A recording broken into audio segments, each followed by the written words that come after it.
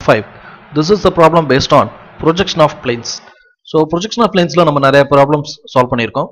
இந்த ப்ராப்ளம் என்ன அப்படின்னு பார்த்தீங்கன்னா இட் இஸ் uh, in நம்மளோட இப்போ current November December twenty twenty and April May twenty twenty ஒனோட கொஸ்டினில் கேட்கப்பட்ட ஒரு இம்பார்ட்டன்ட் கொஸ்டின் ஆக்சுவலி இந்த கொஸ்டின் படிக்கும்போது ரொம்ப ஈஸியான கொஸ்டின் மாதிரி இருந்துச்சு. ஆனால் சால்வ் பண்ணும்போது டஃப்னஸ் இருந்துச்சு.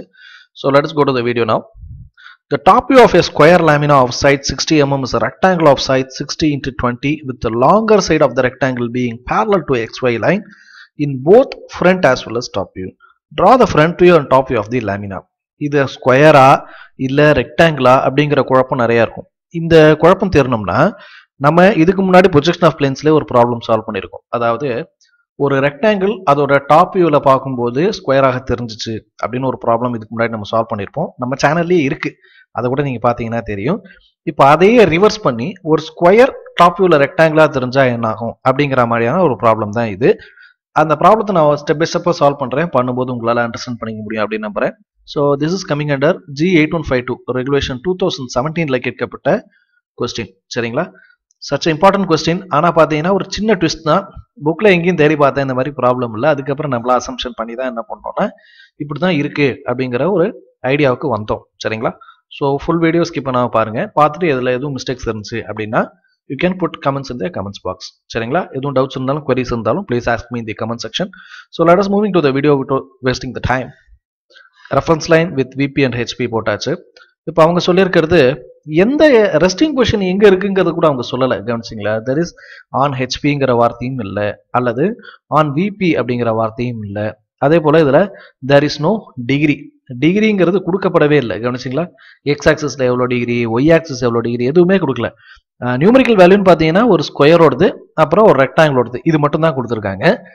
பேரலல் டு போத்துங்கிற வார்த்தை வேற கொடுத்துட்டாங்க. ஸோ நீங்கள் பேரலல் டு போத்துனா இங்கேருந்து நாற்பத்தஞ்சு டிகிரியும் எடுக்கலாம் அல்லது இதோட பாட்டம்லேருந்து நாற்பத்தஞ்சு டிகிரியும் எடுக்கலாம். அதுதான் நீங்கள் பேரலல் டு போத்துங்கிறது அப்போ நம்ம என்ன பண்ணுறதுன்னு குழப்பத்துக்கூடிய ஒரு ப்ராப்ளம் அதனால் நான் என்ன பண்ணிட்டேன்னா சிம்பிளி அவங்க எந்த லேமினா எந்த வியூவில் இருக்குன்னு அவங்க கொடுக்கல. அதனால் டைரக்டாக I'm taking a square on HP ஏன் நீங்கள் ஹெச்பியில் தான் எடுத்தீங்க? விபியில் எடுக்கக்கூடாதா தாராளமாக விபியில் எடுக்கலாம். நீங்கள் எடுக்கக்கூடிய ப்ராப்ளத்தை நான் சொல்கிற அதே மெத்தடை விபியில் சால்வ் பண்ணி பாருங்கள் ஒன்றும் தப்பு இல்லையே. ஓகே ஆனால் அவங்க கொடுத்துருக்கிறது the top view of a square lamina is a rectangle இந்த ஸ்கொயர் அதன் டாப் வியூவில் பார்க்கும்போது ரெக்டாங்கிளாக இருக்கிறது. டாப் வியூங்கிறது எங்கே இருக்கும்? ஆல்வேஸ் பாட்டம் பாட்டம்ல தான் இருக்கும் இல்லையா? அப்போ இது பாட்டம்ல ரெக்டாங்கிளாக இருக்கு அப்படின்னு அர்த்தம். ஸோ அதை தான் என்ன அவங்க சொல்ல வராங்கன்னா ஸ்கொயருங்கிறது அறுபதுக்கு அறுபது இருக்கும். அதோட டாப் வியூங்கிறது ரெக்டாங்கிளாக இருக்கு அப்படிங்கிறாங்க. ஸோ அதனால என்ன பண்றேன்? ஃபர்ஸ்ட் ஒரு ஸ்கொயர் அதோட லைன்ஸ் ஏபி சிடி போட்டோமா? இதோட டாப் வியூ தான் என்னவா இருக்கு? The top view of a square is a rectangle அப்படின்னு சொல்லப்பட்டிருக்கு. அப்போ டாப் வியூங்கிறது கோட்டுக்கு கீழாகவே இருக்கும். கோட்டுக்கு கீழாக இருக்கும். அப்போ என்ன பண்றோம்? இதை ரெண்டுத்தையும் சைடு எக்ஸ்க்ளூஷன் பண்ணி ஒரு ரெக்டாங்கிள் சிக்ஸ்டி இஸ்டி டுவெண்ட்டி இப்போ சிக்ஸ்டி இருக்கா? டுவெண்ட்டி இருக்கா? இதை தான் நம்ம என்ன பண்ணியிருக்கோம் அப்படின்னா இப்போ நம்ம பண்ணியிருக்கோம் so this is what happening in the problem அப்போ சிக்ஸ்டி இஸ் டுவெண்ட்டி கிடைச்சிருச்சு இதை இந்த வியூவில் நம்ம என்ன பண்ணுறோம் மேலே A one B one C one D ஒனை top extrusion பண்ணுறோம் லைக் திஸ் இங்கே இந்த பி ஒன்லேருந்து டாப் போகுது சி ஒன்லேருந்து டாப்பில் போகுது. இது ரெண்டுமே ஒரு டிஸ்டன்ஸ் ஃபுல்லாக போகுது. அப்போது திஸ் ஏபிசிடியோட லைன் எப்படி நம்ம மெஷர் பண்ணுறது அப்படின்னு கேட்டிங்கன்னா ஸ்டார்டிங் பாயிண்ட்டுங்கிறது ஏபிங்கிறது உங்களுக்கு தெரியும். இங்கே ஏபிலேருந்து சிடிக்கு எவ்வளோ டிஸ்டன்ஸ் இருக்கோ அந்த சேம் டிஸ்டன்ஸ் ஆர்க் எடுத்து இந்த லாங் லைனில் ஒரு கிராஸ் அடிக்கிறோம். அந்த touch point is called as C and D அப்போது ஏபிசிடி நாலு லைனும் கிடச்சிருச்சா? அடுத்து அந்த லாங்கர் சைடு வந்து பேரலல் டு போத் பிளேன்ஸ்னு சொல்லிட்டாங்க. அப்போ ஃபஸ்ட்டு ஆப்ஜெக்ட் போட்டாச்சு. செகண்டாக என்ன பண்ணிட்டோம் அப்படின்னா லைன் இன்க்ளினேஷன் பண்ணிட்டோம். ஆக்சுவலாக லைன் இன்க்ளினேஷன் இந்த டிகிரியே நமக்கு தெரியாது.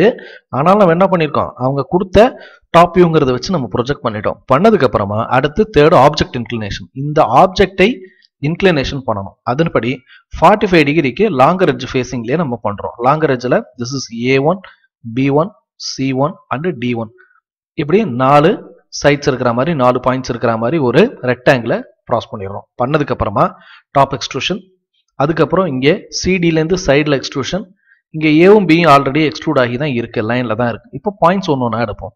இங்கே இருக்கக்கூடிய A one this is your A one and this is your A ரெண்டும் மீட் பண்ணக்கூடிய இந்த பாயிண்ட்டை கேபிட்டல் ஏன்னு சூஸ் பண்ணுறோம் so this is capital A அடுத்து இங்கே இருக்கக்கூடிய பி ஒன்னும் திஸ் பி ஒன் இந்த பி ரெண்டும் ஜாயிண்ட் ஆகக்கூடிய பாயிண்ட் இந்த இடம் இல்லையா? So that is your B அதை மார்க் பண்ணிட்டோம். அடுத்து this is your C and this is your C ரெண்டத்தையும் pick பண்ணக்கூடிய இடத்த இங்கே எடுத்தா capital C that is capital C likewise this D அப்புறம் இங்கே இருக்கக்கூடிய டி ரெண்டும் மீட் ஆகக்கூடிய point this point this is called as D அப்போ ஏபிசிடிங்கிற நாலு பாயிண்ட்ஸ் கிடச்சிருச்சா? ஒன் பை ஒன்னாக இதை அப்படியே ஜாயின் பண்ணோம் அப்படின்னா we will get a rectangle like this சரிங்களா? எனக்கு இந்த ப்ராப்ளத்தில் எனக்கு ரொம்ப பிடிச்ச விஷயம் என்னென்னா இதில் எந்த டிகிரியுமே கொடுக்கல.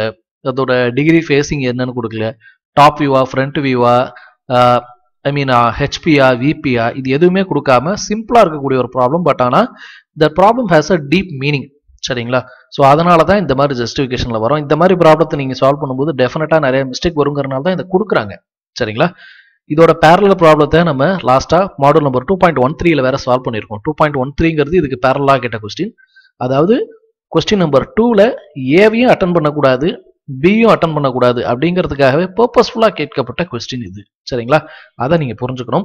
அதற்காக தான் we have been solving all those stuff so இதையும் நீங்கள் ரெஃபர் பண்ணுங்கள் உங்களோட மெட்டீரியல்ஸை ரெஃபர் பண்ணி பார்த்துட்டு உங்களுக்கு இதில் எதுவும் டிஃபிகல்ட்டிஸ் இருக்குது இதில் எதுவும் டவுட்ஸ் இருக்குது அப்படின்னா please ask in the comment section video கம்ப்ளீட்டாக பாருங்கள் like the content share the content put your comments இந்த கமெண்ட்ஸ் பாக்ஸ் தேங்க்யூ